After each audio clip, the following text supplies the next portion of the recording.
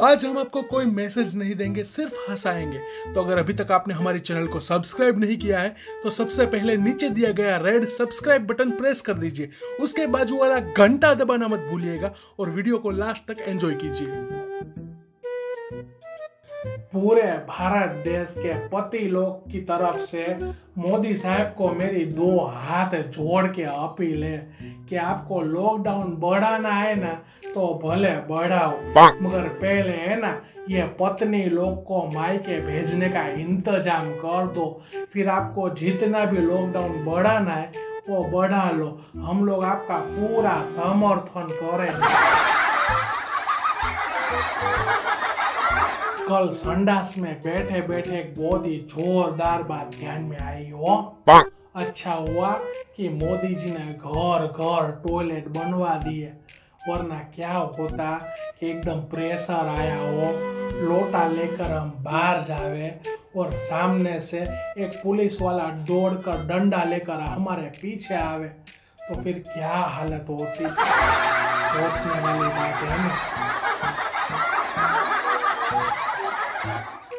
अब की बार मोदी जी है ना एकदम ज़बरदस्त टास्क देने वाले हो इससे कोरोना सौ टका भाग जाएगा। तो टास्क ये है कि 11 तारीख को रात 11 बजे सिर्फ़ 11 मिनट के लिए हम सबको अपनी सांस रोक लेनी है। जिससे क्या होगा कि कोरोना को लगेगा कि सब मर गए और कोरोना अपना बिस्तरा पोटला लेके वापस चीन घर भेगा, हो जाएगा। है, आप लोगों से एक बात पूछनी थी। आजकल वो दारू तो मिल नहीं रही है ना। तो सुना है कि सैनिटाइजर में भी दारू से ज़्यादा अल्कोहल की मात्रा होती है। तो क्या उसमें ज़्यादा पानी डाल के काम चलाया जा सकता है? आपको खबर होने तो कमेंट में जवाब ज़रूर देना हो एक बहुत ही धार्मिक चाचा है ना, वो कोरोना से मर गए। तो उन्होंने ऊपर जाके भगवान से कहा कि, प्रभु, मैंने तो पूरी ज़िंदगी आपकी भक्ति की है। फिर आप मुझे इस भयंकर बीमारी से बचाने क्यों नहीं आए?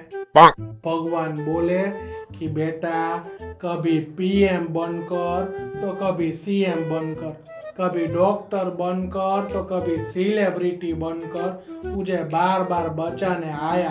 और तो और पुलिस बनकर तुझे पाँच डंडे भी लगाए। फिर भी तू नहीं समझा। अब तू कोई अर्जुन तो है नहीं कि तुझे रौद्र रूप के दर्शन दे दू। आप भी कोई अर्जुन तो है नहीं ने? तो फिर ध्यान रखना वो। आपको पता है इस कोरोना से है ना हम पति लोगों को बहुत ही फ़ायदा हुआ है वो।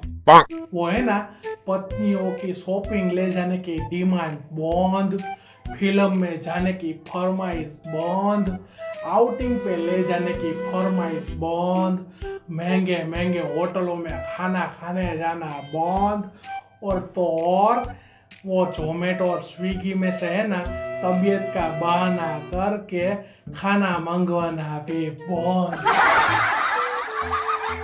पता है कि आजकल घर पे बैठे बैठे आप लोग सब बहुत दुखी हो गए होंगे। मगर मैं एक बात की गारंटी लेता हूँ कि अपनी शादी की सीडी या एल्बम एक बार देख डालना। ये दुख तो है ना, बहुत ही छोटा लगने लगेगा। अगर घर पे बैठे बैठे आप लोग बोर हो गए हो और बाहर निकलने का सोच रहे हो ना तो इस रमजू काका की एक सीख याद रखना कि घर पे बैठे बैठे आप जितना बोर हो रहे हो ना उससे ज़्यादा अस्पताल में बोर हो जाओगे। और खुदा ना खास्ता, आप अगर तस्वीर में टांग दिए जाओगे ना तो वहाँ से तो हिल भी नहीं पाओगे। पैसा तो प्लीज़ घर पे रहना और आराम से सेफ़ रहना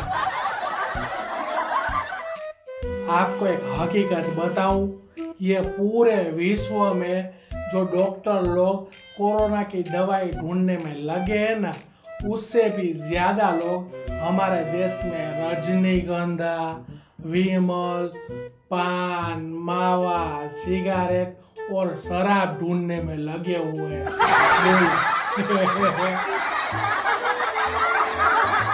चलिए अब जाते जाते एक मस्त शायरी सुना देता हूँ आपको कि अर्ज़ किया है ना कोई इलाज है और ना ही कोई दवाई है।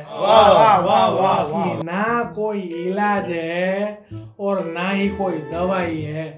ये इश्क मार्केट में तेरे टक्कर की बीमारी आई है।